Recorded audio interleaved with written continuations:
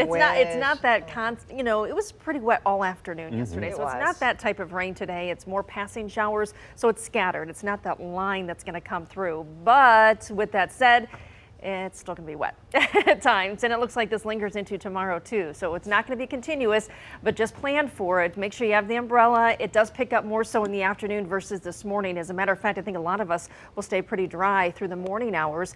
The chilly rain tomorrow for opening day, and yes, there is the potential we could get a few mixed showers but more likely to the west than to the east. So thankfully the ballpark is to the east, but we're going to continue to watch it for tomorrow. Temperatures are going to struggle low to mid 40s. That's it for highs tomorrow. Seeing a few showers trying to come down from Lansing up toward Lapeer, North Branch area, anywhere south and east of there, which is majority is dry. So 44 degrees in Ann Arbor, 45 downtown. We're at 44 degrees in Pontiac. So our temperatures are in the 40s this morning. Again, not bad when we average those 30s for overnight lows. We can still see where all the rain is that passed through yesterday.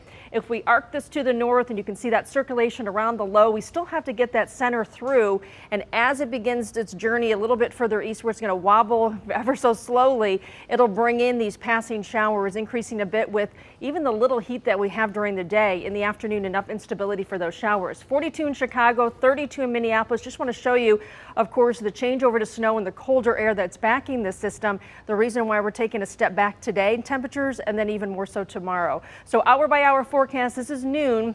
We're seeing more showers developing across the area, and then we're going to continue that trend through the evening hours. A little quieter overnight. The sun sets, instability starts to level out just a bit, and things get a little quieter.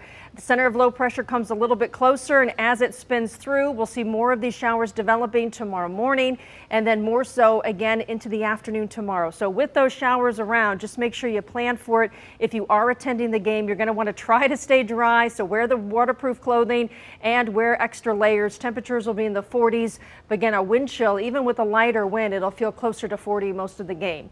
Temperatures stay in the 40s on Saturday, low to mid 40s, in fact, which means any rain could change over or mix with some wet snow. Sunday does look dry, 52 degrees, and then we're back to 60 on Monday.